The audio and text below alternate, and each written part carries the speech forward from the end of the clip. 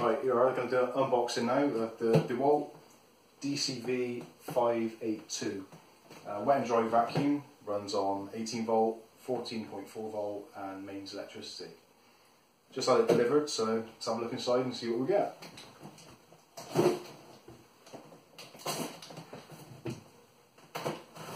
Whilst trying not to cut my fingers off.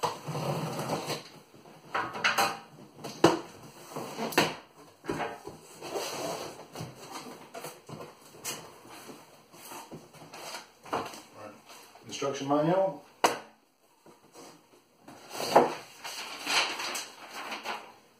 Safety guide. Three year guarantee. Might be useful.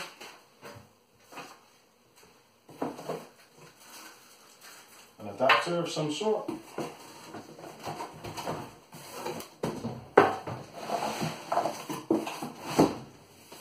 And here it is. Nothing else in there. Right, let's see what we've got. Now on the box you've got all the features, H2O, wet and dry, 1.5 metre hose.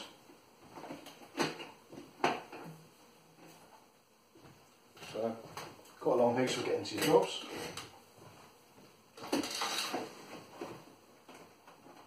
Detachable hose, plugged in there for suck.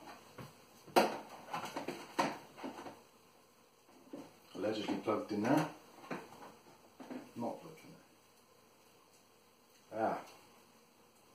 Little toggles on there, so only fit in one way. There. Wind up and then twist to lock it in. So that's now set to blow.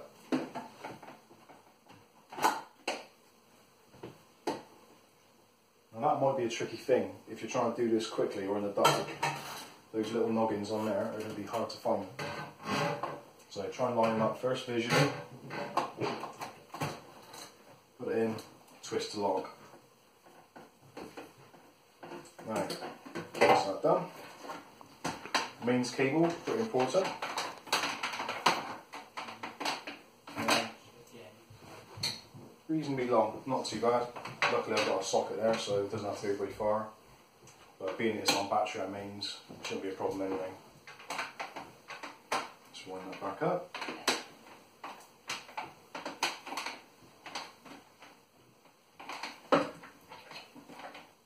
See what else we've got. Weight, four and a half kilos, so not too heavy, reasonably portable. Should be able to carry that around without straining yourself too much. 7.5 litre tank for the water. So, held on by the clips, one each side. And you've got yourself sturdy reservoir for collecting all your debris and water. You see, filtered intake, and this I believe is removable somehow. Yeah, just a twist and lock, so you can stick that in the washer, clean it up, you're good to go. Got a ball in there, which I guess is a cut-off device, so when the water gets too high, it goes up to the chamber and turns off the vacuum, stop you ruining the motor or anything like that. Just twist and lock into place. Uh, nothing else really of any interest in there. What all that was, that is attachment.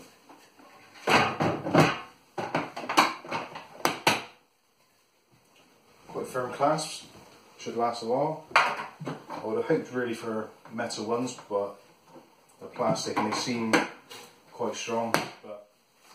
You've got your three year guarantee, so I presume they're going to be covered. Um, not too sure. All the tools fit together quite nicely. This I think is an adapter to be used with uh, DeWalt power tools like your circular saw uh, or your power planer. Then you just plug in, plug into your tool, you're good to go. Uh, what else have we got? That's about it really. Lengthwise, I'd say it's probably just over a foot in length. Uh, width-wise, if you're going to put it into a storage device of some sort, it's probably, I don't know, 10, 11 inches, so it's not quite square. A bit of an overhang where your battery goes, which is here. Um, on off switch on top, which is a decent quality rocker switch. And from what I can tell, it looks like that might be waterproof, or at least IP67 or whatever the specification is for light splashes or just water ingress. So that's all pretty good. Um, not really anything else I can say. I'm going to give it a good test and I'll be doing another video on that to show you uh, various things, dust, water, uh, sawdust from power tools. But if you've got anything you want to say or any comments, put them in the link down below. Thanks again.